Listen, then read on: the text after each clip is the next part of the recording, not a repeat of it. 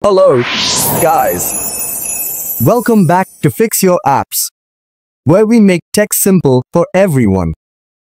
Today, we're diving into how to block third-party cookies in the Chrome browser. If you find our tips helpful, don't forget to hit that subscribe button for more straightforward tech guides. Let's get started. Step 1. Grab your Android phone and open the Chrome browser app. Make sure you are logged into the correct account. Step 2. Look for the three dots icon located at the top right corner of the screen. Tap on this icon to open the menu. Step 3.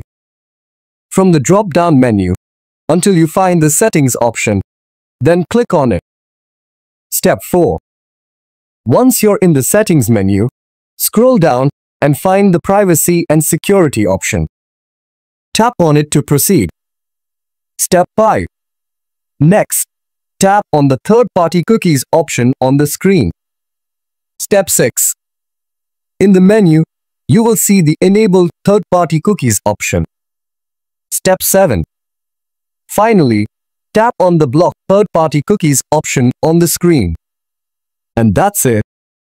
You've successfully blocked third-party cookies in the Chrome browser. Thanks for watching. Don't forget to like, share, and subscribe for more updates.